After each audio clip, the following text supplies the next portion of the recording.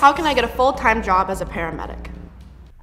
Paramedics work out of ambulance stations in major cities and small towns across the province.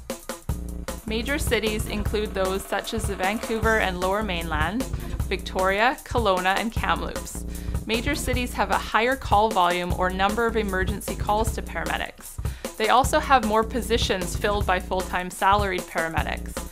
When new positions open up in major cities, they are usually filled by paramedics that are already hired rather than new paramedics. Generally, paramedics move to the major cities from smaller towns as they advance through their career. After I completed my PCP with the JIBC, I was hired in Prince Rupert as a part-time paramedic. I ended up working almost every day if I chose to. There was a lot of available shifts for me. I ended up working all over the province. I worked in Pemberton, Whistler, Terrace, and all over the lower mainland as a secondary employee picking up shifts in Vancouver. If you are a new paramedic, the chances are that you won't get a full-time job in a major city right away. You will likely start your career working part-time in a small town and accumulate hours and seniority that will lead you to a full-time position in a few years. The smallest towns where you might start include places like Chase, Enderby, Salmon Arm, Princeton, Keremeos, Clearwater, and Boston Bar, and many other places that you may have never had the chance to visit. When you start out working part-time, you often travel to small towns to complete shifts in blocks over a few days, and live at the station while working to cut down on your travel time. This is a great opportunity to learn and grow as a paramedic in an environment that can be slower paced than a major city, and it also gives you a chance to explore some beautiful areas of our province.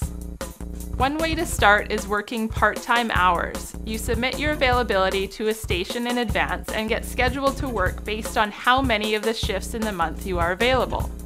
The advantage of this is you can control your own schedule, concentrate your work days, and have more days off in a row.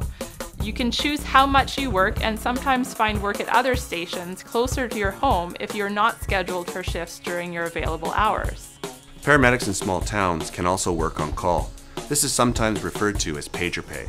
You are paid a lower hourly wage to wear a pager and be ready to spring into action when someone needs a paramedic.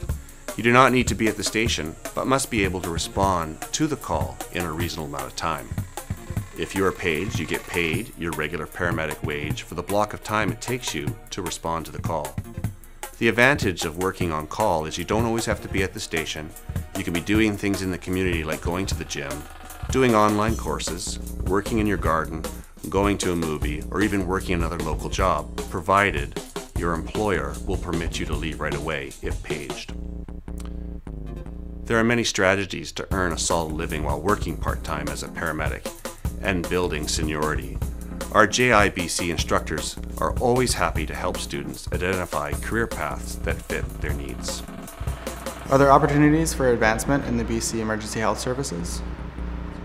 BCEHS has an education division devoted to providing the ongoing annual training, requirements, and introducing new knowledge and skills to their paramedics.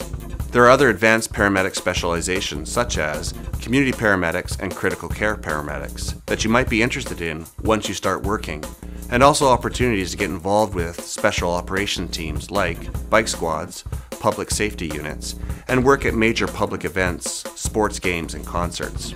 There can be opportunities for paramedics to move into roles in education, administration, dispatch, logistics, and into management and leadership positions with the ambulance service.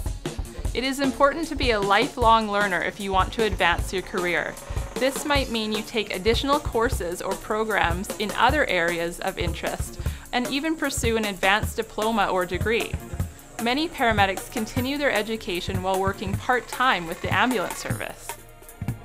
Thanks. Where can I find more information? I hope that I have been able to answer some of your questions about working as a paramedic in BC. The BCEHS website has great information to help you make a decision about starting on your path to becoming a paramedic. I would also encourage you to talk to your instructors at JIBC. They have a great deal of experience and have been where you are right now.